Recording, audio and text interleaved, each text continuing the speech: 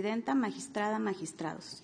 Doy cuenta conjunta con los recursos de reconsideración 22.818 y 22.819, ambos de este año interpuestos en contra de las sentencias de la Sala Regional Ciudad de México, en las que se ordenó restituir en el goce de sus derechos a ser votadas en su vertiente de ejercicio del cargo a las planillas que resultaron electas para Venustiano Carranza y Chignahuapan, ambos municipios de Puebla, debido a que revocó las sentencias del Tribunal Electoral de esa entidad federativa por las que se habían anulado tales comicios.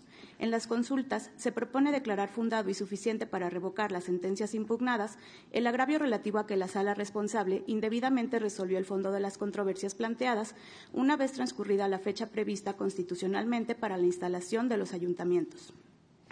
Ello porque al haber concluido la última etapa del proceso electoral antes de que la sala responsable resolviera las impugnaciones respectivas, los actos controvertidos se consumaron de forma irreparable, por lo que no podían revertirse las nulidades decretadas por el tribunal local. De ahí que, al así haberlo hecho, la responsable transgredió los principios de definitividad y certeza.